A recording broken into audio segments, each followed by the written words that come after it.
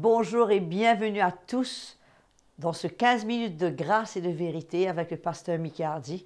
Ce programme qui est votre programme et qui est tellement porteur de lumière et de bénédiction dans nos vies. Le Seigneur est tellement bon envers chacun de nous que vraiment aujourd'hui j'aimerais le louer de tout mon cœur et vous dire combien je l'aime et vous aussi. J'aimerai mon Dieu de tout mon cœur. J'aimerai mon Dieu de toute mon âme. J'aimerai mon Dieu de toute ma pensée, de tout mon cœur, de toute mon âme et de ma pensée. Seigneur, je t'aime pour ce que tu es. Seigneur, je t'aime pour tout ce que tu fais. Seigneur, je t'aime. Apprends-moi à t'aimer de tout mon cœur, de toute mon âme et de ma pensée. I shall love the Lord with all my heart. Yes, Lord. Shall love the Lord with all my soul. I shall love the Lord with all my mind, with all my heart, with all my soul, and with all my mind. Oh Lord, I love you for everything you are. Oh Lord, I love you for everything you do. Oh Lord, I love you. Teach me to love you, Lord, with all my heart, with all my soul, and with all my mind. Seigneur, je t'aime pour tout ce que tu es. Seigneur, je t'aime pour tout ce que tu fais. Seigneur, je t'aime. Apprends-moi à t'aimer de tout mon cœur, de toute mon âme et de ma pensée. Tout mon cœur, de toute mon âme et de ma pensée. De tout mon cœur, de toute mon âme et de ma pensée. Alléluia. Merci Seigneur. Le moment est maintenant venu d'accueillir le pasteur Mickey Hardy qui va continuer dans cette fameuse série Les hérésies. Et cette fois, il va nous parler de toutes ces personnes qui œuvrent dans l'indépendance. Avec des cœurs grands ouverts, nous l'accueillons. Frères et sœurs, quelle joie de se retrouver encore aujourd'hui autour de la parole de Dieu. Nous remercions Audrey pour ce merveilleux chant qui nous encourage à louer le Seigneur et à adorer le Seigneur tous les jours. Je vous rappelle que le thème de ces moments tous les jours, c'est 15 minutes de grâce et de vérité. En ce moment, nous parlons, comme vous avez dû réaliser, des hérésies dans le corps de Christ. Des hérésies, c'est-à-dire des mensonges, des fausses doctrines, des fausses compréhensions concernant la parole de Dieu. Et aujourd'hui, nous allons parler de, du ministère indépendant, c'est-à-dire qu'il y a des pasteurs, des serviteurs de Dieu qui sont seuls, ils sont indépendants et ne rendent pas compte à personne. Mais que voyons-nous dans la parole de Dieu? Et souvent, quand je parle avec des serviteurs de Dieu, des pasteurs, quand je voyage en Afrique, et que je les confronte là-dessus, ben, il y a toujours des bonnes raisons, des justifications, euh, des explications pour montrer qu'ils ne peuvent pas faire autrement. Mais combien de temps allons-nous continuer à essayer de vivre l'Évangile non pas dans la lumière de l'Évangile, mais en s'écartant de la vérité de la parole de Dieu? Je crois que l'exemple que nous pouvons trouver, l'exemple idéal, c'est Jésus lui-même. C'est pourquoi ce matin, je vais vous demander d'ouvrir votre Bible dans l'évangile de Jean au chapitre 7. Et nous allons lire à partir du verset 15. Jean chapitre 7, verset 15.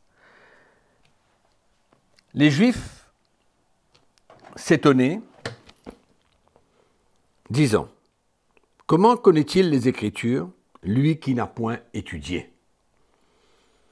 Jésus leur répondit, Ma doctrine n'est pas de moi, mais de celui qui m'a envoyé. Notez le mot envoyé, de celui qui m'a envoyé. Si quelqu'un veut faire sa volonté, il connaîtra si ma doctrine de Dieu, ou si je parle de mon propre chef, ou si je parle de mon propre chef. Celui qui parle de son propre chef cherche sa propre gloire. Mais celui qui cherche la gloire de celui qui l'a envoyé, celui-là est vrai. Et il n'y a point d'injustice en lui. Nous voyons le ministère de Jésus et nous voyons sa relation avec le Père. Il est clairement dit qu'il a été envoyé de la part du Père, qui n'est pas venu de son propre chef, qu'il ne parle pas de son propre chef, il ne cherche pas sa propre gloire, mais il cherche la gloire de celui qui l'a envoyé. Donc nous voyons cette relation entre Dieu le Père et le Fils.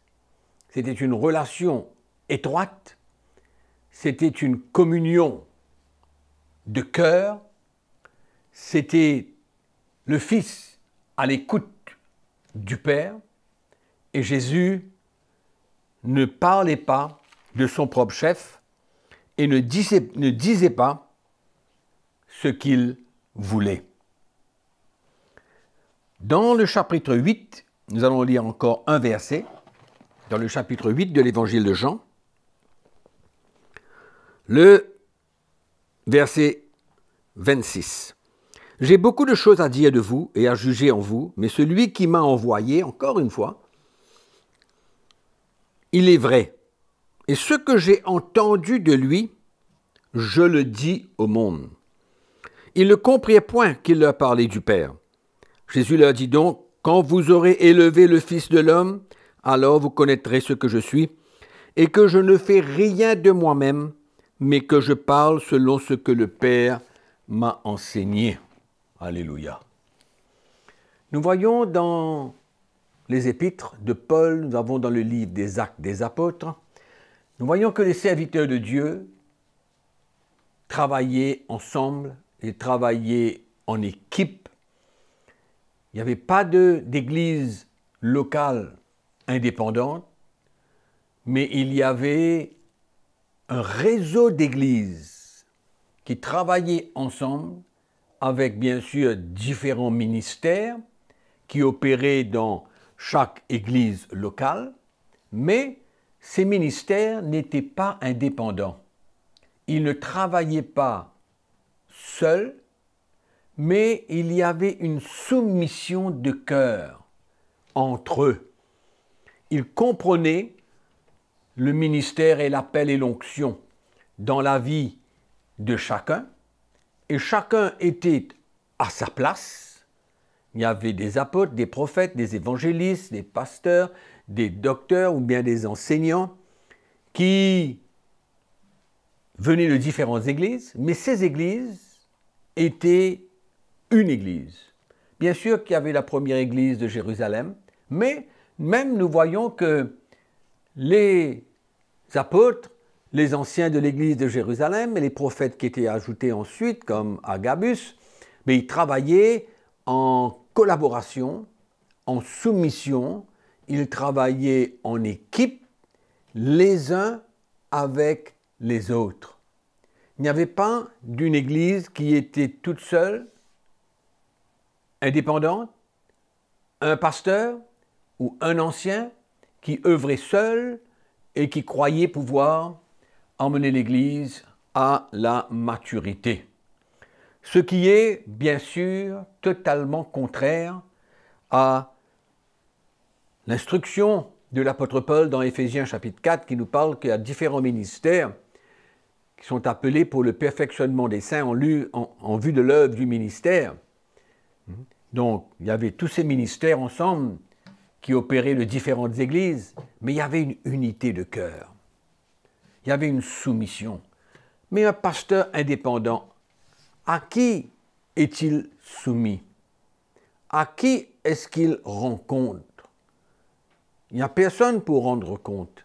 Il est seul, il décide tout, et souvent, ces pasteurs et ces serviteurs de Dieu s'enfoncent dans la mauvaise doctrine, dans les fausses doctrines, parce qu'ils n'ont pas de protection, ils n'ont personne pour travailler avec, ils sont indépendants, ils sont seuls, et malheureusement, c'est le peuple de Dieu qui souffre.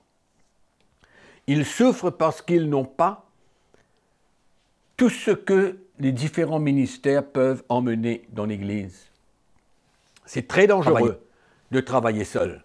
C'est très dangereux de œuvrer pour le Seigneur dans une Église locale, indépendante, sans relation avec d'autres églises et d'autres serviteurs de Dieu. Donc c'est pourquoi c'est important que les pasteurs, les serviteurs de Dieu puissent travailler en collaboration, avoir un même cœur, partager le même évangile. C'est comme ça qu'il y a tant de divisions au sein de l'Église. Et encore une fois, je répète, c'est le peuple de Dieu qui souffre. Il souffre par manque de révélation, il souffre par manque de différentes onctions, différents ministères. Il n'écoute qu'un seul homme, un pasteur, une seule personne, un seul ministère, et souvent on trouve finalement que parmi cette Église, il y a des fausses doctrines, il y a des hérésies. C'est pourquoi travailler seul, un ministère indépendant, n'est pas scripturaire. Ce n'est pas biblique d'aucune manière.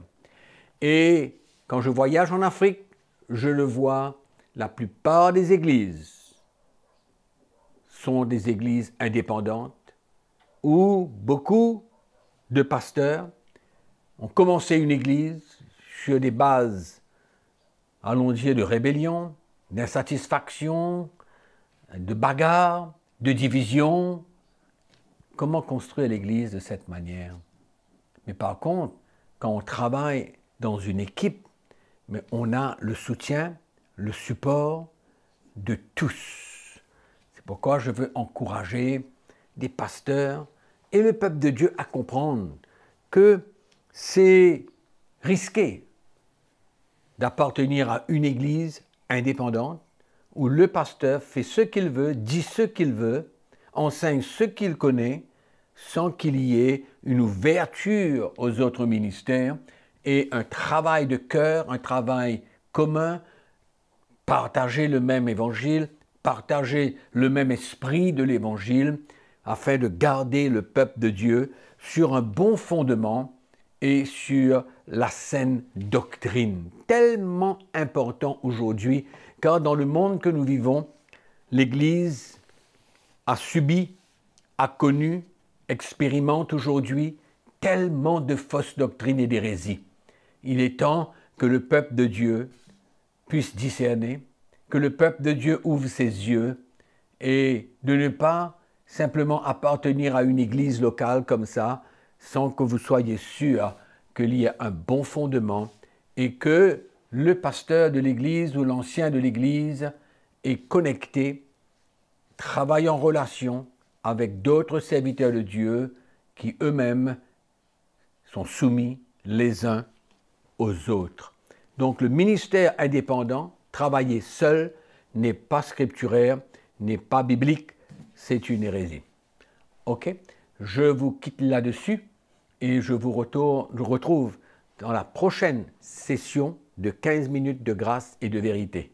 Entre-temps, que la grâce du Seigneur vous accompagne et n'oubliez pas qu'on vous aime. Qui aurait dit, mes frères et sœurs, qu'il y avait tellement d'hérésie dans l'Église aujourd'hui dans le monde et quelle grâce que nous avons pu adresser toutes ces hérésies et que la lumière ait été faite pour chacun de vous? C'est pour cela que c'est tellement important, c'est vital. Abonnez-vous à notre chaîne YouTube CTMI afin de profiter pleinement de tout ce que le Seigneur, de toute la lumière que le Seigneur veut nous emmener. Et vous avez été nombreux à nous écrire, continuez à le faire, vos témoignages, vos encouragements, vos questions, et tout cela sur l'adresse qui est affichée sur votre écran. Et surtout, ne manquez pas le prochain rendez-vous avec le pasteur Mickey Hardy dans cette prochaine session qui va certainement s'assurer très excitante. Que le Seigneur vous bénisse Continuez à servir Jésus et surtout à l'aimer de tout votre cœur.